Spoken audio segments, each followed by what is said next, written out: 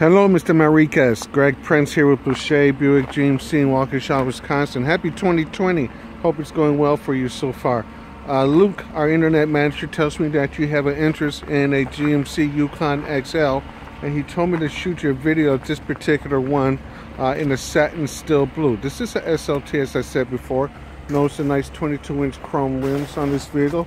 Uh, we have some very nice programs going on right now both from a finance and a lease standpoint as well, uh, Mr. Manriquez.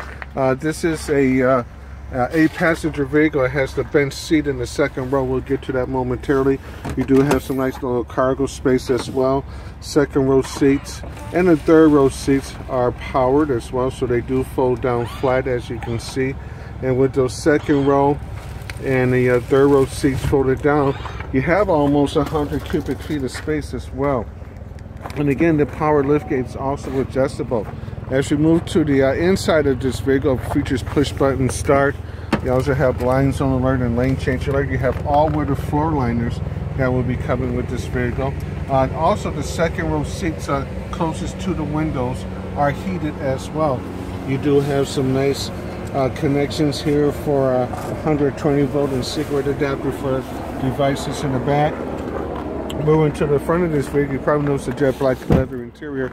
Moving to the front of the vehicle, we have 8-way power on the driver's, 8-way power on the passenger side with lumbar support, trailer brake controller. This vehicle can tow up to about 7,500 pounds if needed. Uh, memory seats for two Bose sound system. Uh, you also have frontal crash alert, heated steering wheel as well, Bluetooth capability. Uh, heated and ventilated seats as well, Mr. Manriquez, which is really nice. Uh, vehicle also comes with navigation, CD player as well.